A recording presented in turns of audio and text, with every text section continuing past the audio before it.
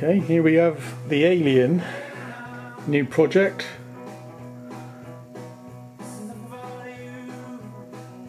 Point one meter wing on it at the moment,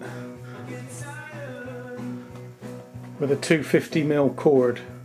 It's just for uh, experimenting, see what it looks like.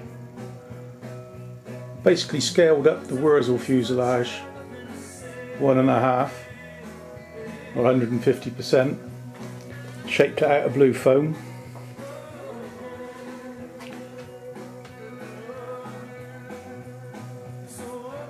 stab's a bit small I think.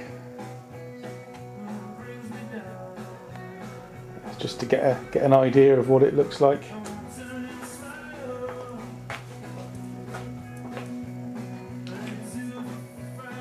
Workshop's fairly small so I can't get around it too much the idea of the back here is, oh, let's get a ruler, from about here I've got to shape it down to this copper pipe. And that'll be my access for my inflatable bladder. So yeah that's the next job. Stream that down from copper pipe to fuselage size by the time it gets to the fin here. Or maybe a little bit past it because I've got the taper on the fin get that bit glassed and then um, smooth it all out. Weakest part of the tail boom obviously obviously is going to be here. And it's 45 millimeters wide and 55 millimeters deep there. So should be a fairly tough fuselage even out of, out of glass. Wing's going to be set down into the fuselage like the Wurzel Not sure how it's going to be attached yet. Got to make those kind of decisions. And also not really sure about the moulding, at what stage to make the mould. Whether I do it when I've got just the final shape, just the outline shape, before adding any wing seats and stab seats and fillets and things like that, making it very wing and stab specific, or whether to just do it with the basic shape and can then use different wing sections and stabs and things on it. Like most of my designs, the tail boom's probably slightly slightly longer than normal. Um, I don't know. I just I just like them that way.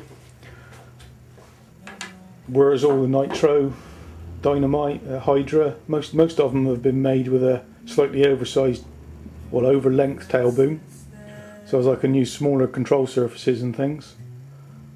And that's just the way I like them really.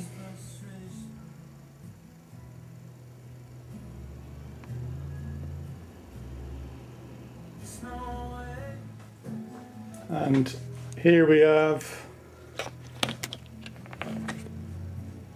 and here we have the 2 meter concept plane plan C this is my DP fuse.